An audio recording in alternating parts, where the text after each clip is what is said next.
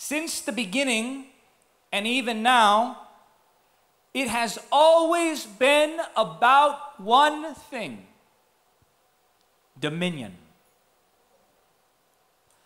Dominion is the establishment of one's kingdom, the sphere of one's influence. When God has dominion in a life or in a place, God has his kingdom rule reigning in that place. When the dominion of God takes precedence in a home, that home is filled with people who obey the word of God and trust the Lord and worship him, and his presence is allowed to move freely there. When there is a church that is dominated by the presence of God, everything about that church, though it may not be perfect, is at least aimed toward the Word of God. Dominion is the fight.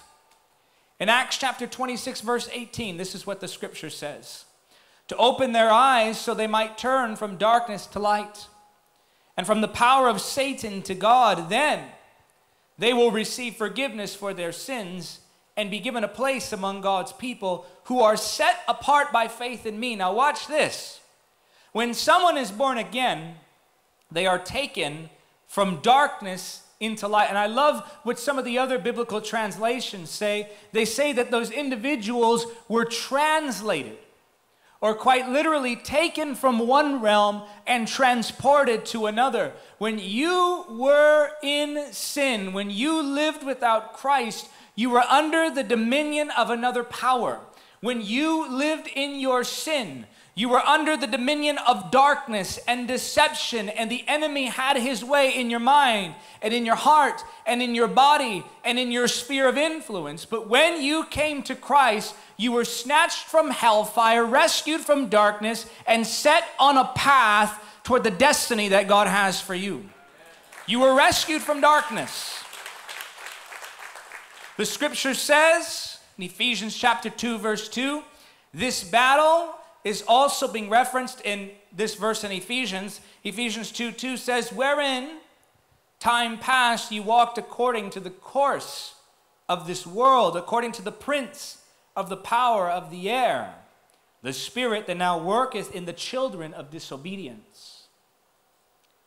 Colossians 1:13, the King James version says, "Who hath delivered us from the power of darkness and hath translated us into the kingdom of his dear son." Since the beginning, it's been about influence.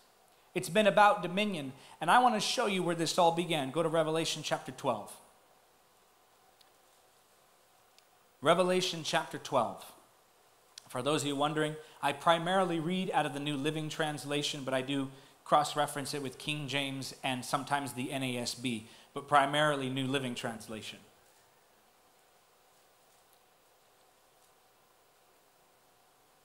We're talking about spiritual warfare. Revelation chapter 12. Go down to verse 7. I'm going to show you something, and then we're going to walk this through, and we're going to unveil why it is the enemy fights you the way he fights you. Revelation chapter 12, verse 7 says this Then war broke out in heaven. Michael and his angels fought against the dragon, and the dragon and his angels fought, but they did not prevail. Nor was there a place for them in heaven any longer the great dragon was cast out, that ancient serpent called the devil and Satan, who deceives the whole world. He was cast down to the earth, and his angels were cast down with him. So, when did this occur? When did this happen? When did Satan fall? Remember, Jesus said, I saw Satan fall like lightning from heaven. So Jesus was present to witness this great war, and we know that because of the reference that Jesus gave, that this is not some metaphor describing a spiritual dynamic. Rather, this is something that quite literally happened in the heavenly realm. The enemy rebels against the heavenly Father. There's a war that breaks out in heaven, and he's cast down to the earth. Yes, we believe in angels and demons. Yes, we believe in heaven and hell because the Bible teaches it. It's time to wake up. It's time to wake up because demons are not metaphors for evil, as some of the seeker friendly churches teach today. Demons are actual beings that exist in another realm that are bent on your destruction. They've been around for thousands of years. They are highly trained spiritual assassins, and they have one purpose, and that is to destroy your faith. They exist. Now, we know that this was after the creation of the earth. Why do we know that? What does the Bible say? We just read it. Satan was cast down from heaven to? From heaven to? So if he's cast down to earth, the earth has to be there. Simple, okay. We also know that it was after the creation of the earth because look at what Job 38 says.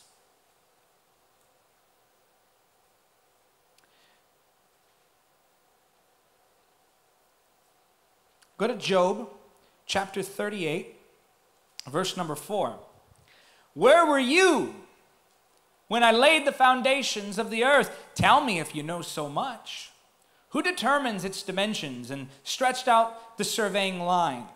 What supports its foundations and who laid its cornerstone? Verse 7, watch this.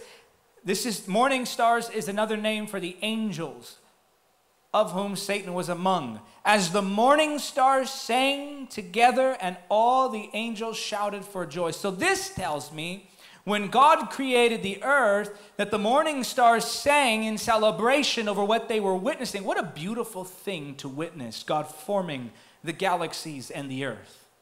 And as the Lord is forming the earth, the angels are singing in celebration over what God is doing. Satan among them. He was one of the morning stars. They sang in celebration, and this tells me that the enemy was not yet in his fallen state. Look at Ezekiel chapter 28. As I said, we're going to be all through the scriptures. So, those of you with the Bible app, you'll be able to keep up. Those of you with the pages, I'm not so sure. Ezekiel chapter 28, I'll try to pace myself here so everyone can follow along. But in Ezekiel chapter 28, verse number 13, Ezekiel is rebuking a wicked man. But while he is rebuking a wicked man, he is comparing him to Satan. And in comparing him to Satan, he's basically revealing where his power comes from. So, this is what you would call a dual text, or a text with a dual meaning, in that it applied to the wicked man that Ezekiel was rebuking, but it all couldn't apply as we're about to see. In other words, Ezekiel is using the devil as an analogy, as an example to say, this is what you're like. Ezekiel 28 13, because we definitely know that this man was not in the Garden of Eden. Ezekiel 28 13, you were in Eden, the garden of God. Your clothing was adorned with every precious stone. It lists the stones, jump down to where it says, all beautifully crafted for you and set in the finest gold. They were given to you on the day you were created. Now, if you look at this portion of Scripture, it becomes clear that Ezekiel is not describing someone in their fallen state. He's describing the enemy as beautiful. He's describing this angel as clothed with what God clothed him at the beginning of creation. So we know that Ezekiel is describing the enemy, or not then the enemy, but now the enemy. He's describing Lucifer in his glorified state. And what does he say? He says, You were in Eden. That tells me that not only was the battle between Satan and the Father, well, if you can even call it a battle, not only was that disagreement between the Father and Satan something that took place before the creation of the earth, but looking at this portion of Scripture, I can see that Satan was in his glorified state in the garden. Therefore, Satan fell after man was created. Some would say, well, what about the gap theory? If you don't know what that is, don't worry about it. If you do know what it is, I would ask you, how is it possible that death could come before sin?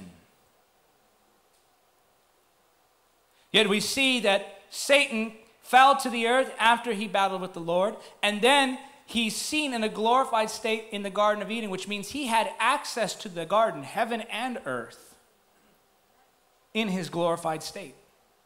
Of course, we know when Jesus was crucified, when he died on the cross, and when he rose again from the dead, Satan lost that access to heavenly places. But watch this now, because this got me thinking. We see another example of this uh, in Isaiah 14, where the enemy is described in his glorified state. But this got me thinking okay, so here is a marvelous angel of light. He's worshiping the Lord. In fact, he's one of the three archangels. He has a place in heaven. He has a glorified state. He has access to heaven and earth, everything he could possibly ever want or need. He gets to worship God and see his glory. What was it that entered into his heart that caused him to fall? Now, some would, would just say pride, and yes, that was a part of it. But think about the fact that nothing had ever triggered this pride in him before. I mean, if I could word it this way, and we know that time doesn't apply to eternity, but if you look at eternity, you'll see that the enemy existed, coexisted with God in a unified state for as long as that was. And then suddenly he just decides that he's going to be like the Most High. Suddenly he just decides that he wants to overthrow God. Suddenly he just decides that he wants that throne. What was the triggering event? What was it that gave Satan the idea that he could be like God? I'm going to show it to you. Genesis 1:26.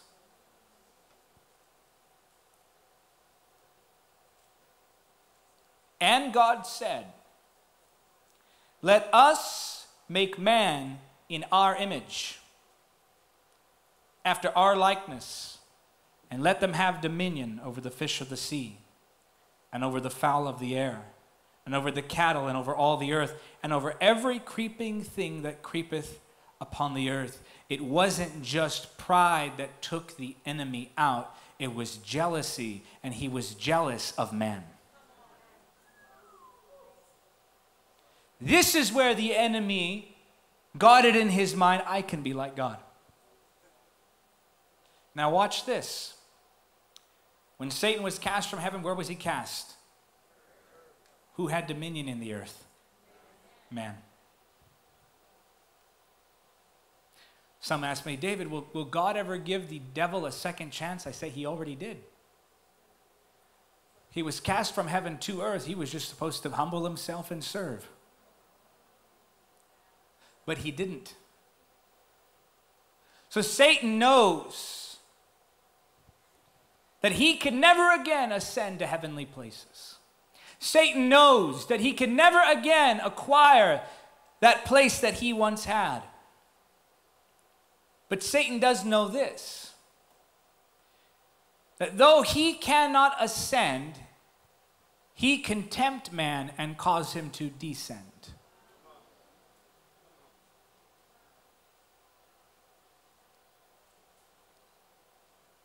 When you live in sin, you lose your dominion.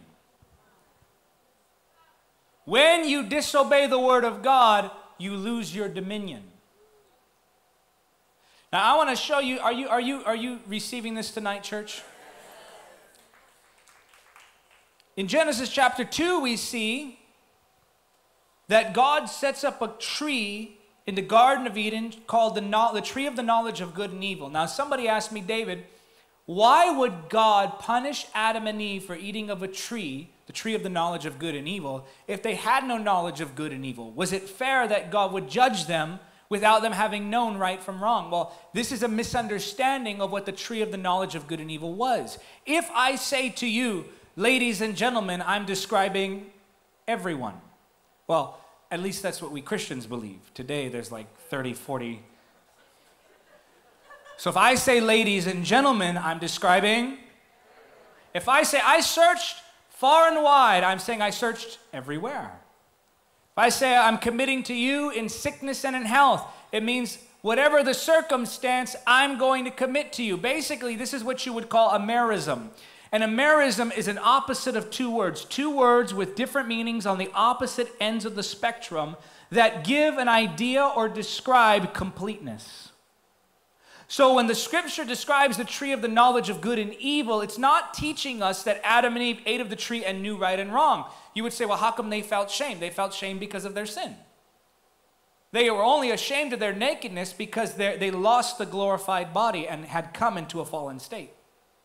And so this wasn't necessarily something that they were ashamed of before, why they were in a glorified state. They lost that glorified state when they sinned. So the tree of the knowledge of good and evil, quite simply, was a literal tree with literal fruit that they would eat. And when you ate of that fruit, it would give you all the knowledge there was to have in the world. This is why God prevented them from eating of the tree of life. Imagine now man in a fallen state with vast amounts of knowledge who knows everything living forever. God rescued man from that eternal state. Had they eaten from the, eaten from the tree of life, they would have sealed their fate in that fallen state. Thank you for watching Encounter TV. Don't forget to subscribe and click the notification bell. Also, help us spread the gospel of Jesus Christ in the power of the Holy Spirit. Make a one time donation or become a monthly supporter by clicking on the donate link now.